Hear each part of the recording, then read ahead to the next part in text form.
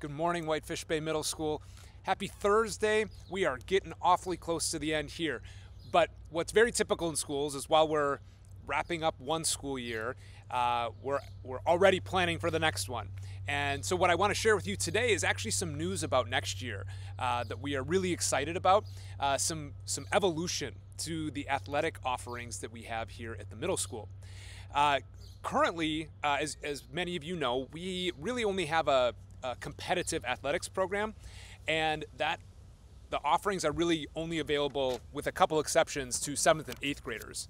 And we want to give more kids an opportunity to participate in athletics and feel that sense of belonging and connectedness with the school.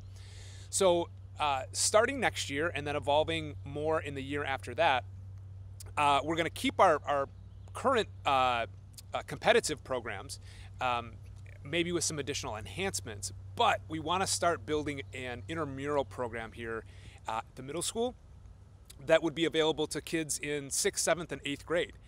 Uh, in that, excuse me, in that intramural program, we would offer, you know, some of the traditional sports like uh, basketball and volleyball, uh, but we also want to take the opportunity to expand the types of offerings that we have.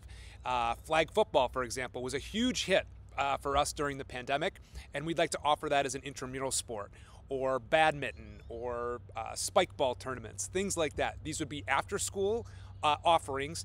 They wouldn't have the, the travel schedule, the practice schedule.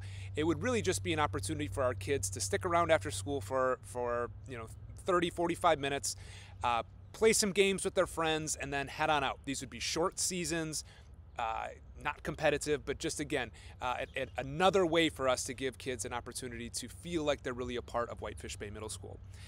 Uh, we are going to roll out that first uh, couple sports next year to kind of get our legs underneath us and give our sixth graders an opportunity. Right now, we're thinking about uh, maybe intramural basketball and intramural flag football and then with a plan of the following year to really expand those offerings um, throughout the entirety of the school year. So we're really excited about that. Um, you're going to hear more information uh, in you know when we get back in the fall, but I just want to give you a little taste and a preview of that. In this email, uh, you will actually also find in the Thursday folder uh, an opportunity to sign up for the fall sports, the, the current fall sports that we offer, which are uh, cross country and girls basketball. Um, but then once we get back, we'll be sure to share more information with you about the startup of our intramural programs. So I wanted to share that. We're super excited about it. If you have any questions, feel free to reach out to me uh, or uh, Pat Danaher, who is our athletic director, and we'd be happy to help out any way that we can. All right, everyone, enjoy this beautiful, long Memorial Day weekend. Take care.